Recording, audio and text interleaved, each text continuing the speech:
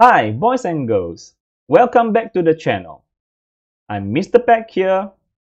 Today I'm going to help you out with a questions on conservation of linear momentum. Let us jump into the questions. Two objects A and B with mass 2 kg and 3 kg respectively are moving in the same direction on a smooth horizontal surface. The velocities of A and B are 4 meter per second and 2 meter per second respectively. A and B collide head-on so that the velocity of B becomes 3.6 meter per second after the collision. Find the velocity of A after collision. Okay, so information given, we have we have the mass. Okay, we put this A and B. We have two objects here, A and B. A we put as 1, B is put as 2. So we have their masses, M1 and M2, moving in the same direction. Uh, in the same direction. So the velocity of A and B, this is the initial velocity, and they are moving in the same direction. So we assume that they both move to the right we both move to the right. So both are positive value. Both move to the right. U1 and U2. They collide head on. So this is considered a one dimension collision. One dimension. Yeah, only one component. There's no XY component. When head on means the only one dimension, only one component. Now, the so that the velocity of B becomes 3.6 after the collision. So this is the final velocity for B. So B we put as number 2. So this is V2, final velocity for number 2, for ball B. Okay? So find the velocity of A, that means after collision, means this is the final velocity for 1. We want to find V1. Alright, so I have illustrated the information in the diagram here. Uh, so these both balls, A and B, we have M1, M2, their masses, their initial velocity both positive, moving to the right. And uh, the final velocity for uh, ball B uh, also positive because it gives positive value. So it is to the right also. Uh, we want to find V1. So what principle can we use? Yeah, it's the conservation of momentum.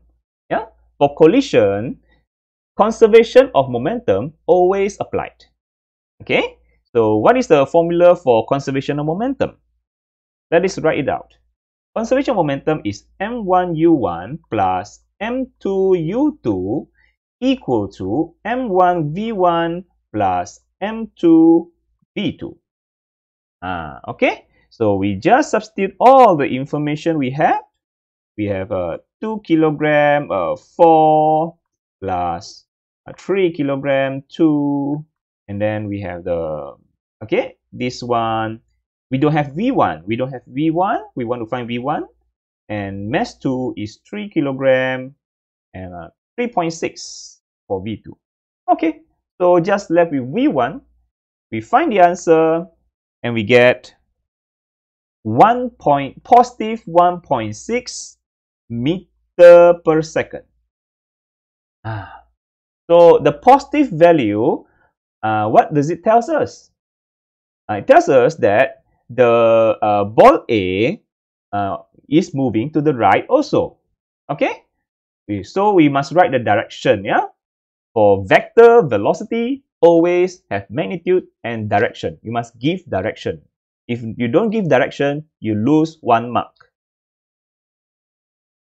Okay, so we got positive value means it's moving to the right after collision. Okay, now let's just move on to the question B. State with reason whether the collision is elastic or inelastic. Is it the collision elastic or inelastic? How, how to identify? Is it elastic or inelastic? Which one? Uh, first, you must know the similarity and also the differences between elastic and inelastic collision. Okay, So here's there's a quick note uh, to compare between elastic and inelastic collision. Okay, so what's the uh, this is elastic and inelastic. What's the similarity between them? Yeah, the same thing for elastic and inelastic collision is momentum always conserved. Momentum always conserved no matter is elastic or inelastic collision, uh, which is uh, moment total momentum before equal to total momentum after collision, or m1u1 plus m2u2 equal to m1v1 plus m2v2. This formula can be applied for both elastic and inelastic. So we cannot use the uh, conservation of momentum to differentiate between elastic and inelastic because this formula can be applied for both. So the only thing we can use to differentiate between them, elastic and inelastic, is the kinetic energy. Uh, okay? For kinetic energy, elastic collision, the kinetic energy is conserved. But for inelastic collision, the kinetic energy is not conserved. Okay? Uh, so the kinetic energy formula is half mv square. Okay? So the uh, conservation of kinetic energy is half m1u1 square plus half m2u2 square equal to half m1v1 square plus half m2v2 square. This formula can only be applied in elastic collision. Uh, cannot be applied in inelastic collision because uh, the before and after not equal the kinetic energy. Okay, so we so how to how to do the question B?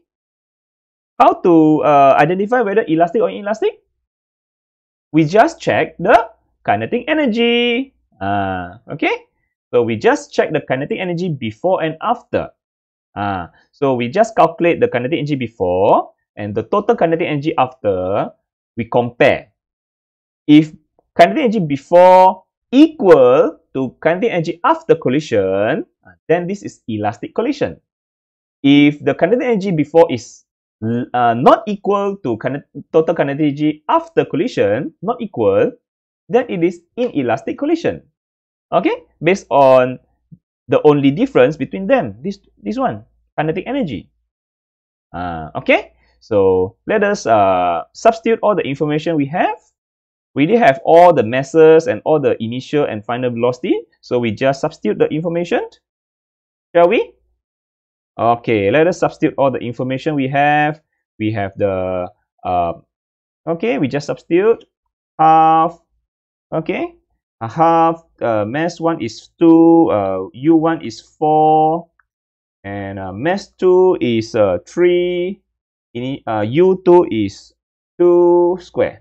So we calculate, we got 22 joule. Okay, that is initial kinetic energy. And the kinetic energy after collision, we also already have all the data. We just substitute uh, mass 1, V1, okay? And then we have mass 2, 3, and we have V2, 3.6. And we got 22 joule. Oh, so it seems that this uh, kinetic energy before and after is equal. Ah, okay, initial. So we can conclude that total initial kinetic energy is equal to total kinetic energy after collision, which is 22 joule.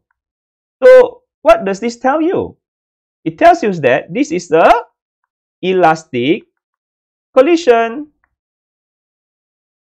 Okay, because they have equal the kinetic energy before and after collision. And kinetic energy is conserved.